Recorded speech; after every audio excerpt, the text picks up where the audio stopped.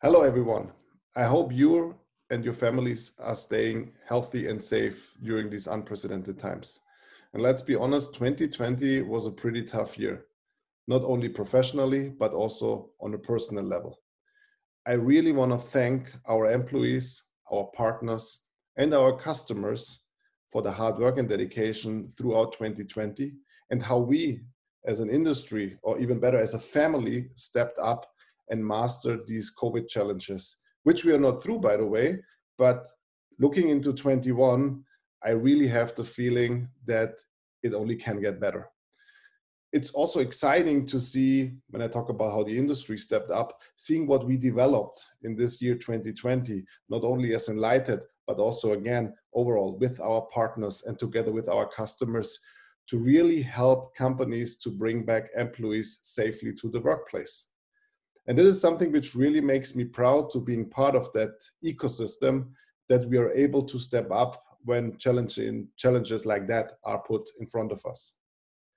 Also in 21, Enlighted, together with partners, together with our partners, we will continue to innovate. And actually, this year 2020 has shown us that innovation is so important to master the challenges we are facing. Just to mention a couple of highlights we had in, in Enlighted this year, we launched several new product offerings like our safe application, which enables via digital contact tracing, bringing employees safe back to the workplace, or our surface sensor, which really opened up a complete new market for us, customers and partners, to tackle uh, desk hoteling and how you really can manage um, your office these days. We ourselves, we moved into a new office where we deployed all the technologies available, not only from us, but also from partners in the industry. And on top of that, we have been really blessed to get the industry recognition by winning five awards throughout the year. And one recent one was the Frost and Sullivan Award to be recognized as the company of the year.